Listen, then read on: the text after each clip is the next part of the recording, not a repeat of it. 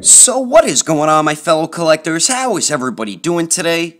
Daredevil19 here, and today we have some pretty awesome action figure news, so let's get into it right away and start it off here with the Marvel Select Planet Hulk, and this isn't the Gladiator Hulk from Thor Ragnarok, this is just their version of Planet Hulk, and this is going to be releasing next month in October, and it is a Disney Store exclusive, and it is available for pre-order right now since it is going to be releasing next month. But I'm a very big fan of the Planet Hulk story, and I always dig the way he looked, the, the just the whole concept of Planet Hulk is just awesome. And I think I might be picking up this figure just because Planet Hulk is just badass, and it's a really a really cool looking figure. I do like Diamond Selects uh, Hulk figures that they do make, so pretty excited for this one here. Alright, so next here, Mafex just announced another Joker from their Dark Knight Trilogy line, and this is going to be the cop version, and I could care less about the cop version.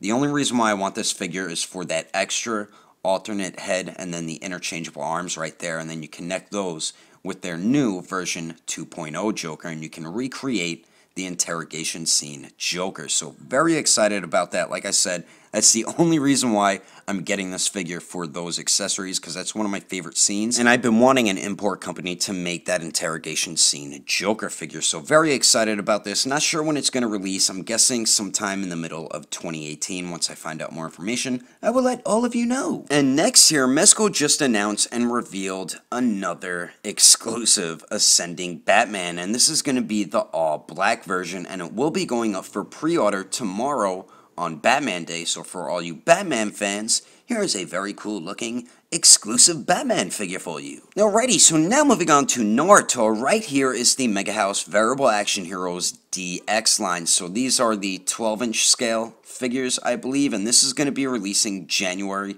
of 2018, and he is available for pre-order right now. So if you want to get this amazing looking Kakashi for your collection, To pre-order him. And this Kakashi really does look phenomenal. I want to get this so badly, but I do not collect 1 6th scale figures, and this one is just way too expensive for me to afford. I believe he's around like 200 bucks, and that's just way too much money for a figure. If you collect this line and you love Kakashi and Naruto, I would highly recommend getting this, but you got to be careful with Mega House and their QC issues. But this figure really does look great, and I just, it, it makes me want to buy it, but I know I can't. So continuing with Naruto, but now moving to the SH Figuarts line, we have a new reveal, and it is going to be Boruto, and this is going to be releasing in March of 2018, and he is a web exclusive, but that doesn't really matter to us in the US because Bluefin will be distributing this figure, and he is available for pre-order right now. If you do buy him in Japan, he will be will be much more expensive compared to buying him in the US and he is available for pre-order right now at agelessgeeks.com and then you could also get 5% off by entering in codename Daredevil so you do save yourself a little bit of money but I don't know how I feel about Tamashii Nations jumping into Boruto right now in the SH Figuarts Naruto line. I would just I wish they would just focus more on Shippuden characters because there's so many other characters they could be making right now but since they're doing it if they are going to continue with Boruto characters, they really need to make an adult Sasuke and Mitsuki. I believe that's how you pronounce his name. Because uh, those are my two favorite characters so far in the show but gonna buy this figure regardless because I am loving the SH Figuarts Naruto line. So finally, moving on to the SH Figuarts Dragon Ball line, right here we have Majin Vegeta, and there is still no release date for him, and since Goku Black is to be releasing in March, I thought Majin Vegeta was to release in February,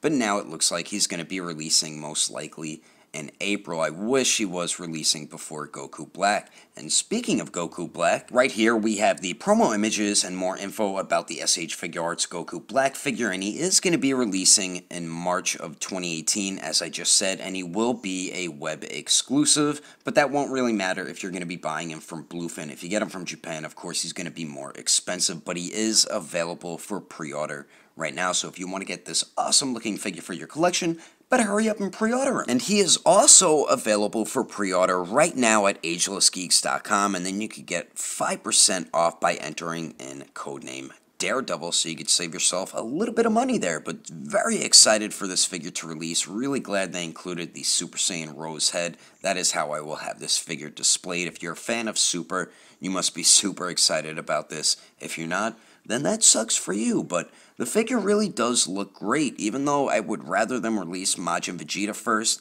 this figure looks like they did a very nice job with it, and I cannot wait to get it. And the next super character they release better be a damn hit. But anyway, that is all the action figure news I have for you as of right now. Hope you enjoyed the video. If you would like to support the channel, don't forget to subscribe and click on that bell icon. And if you liked it, give it a thumbs up. If you didn't like it, just give it a thumbs up anyway because action figures are awesome. But thanks for watching. I will see you later.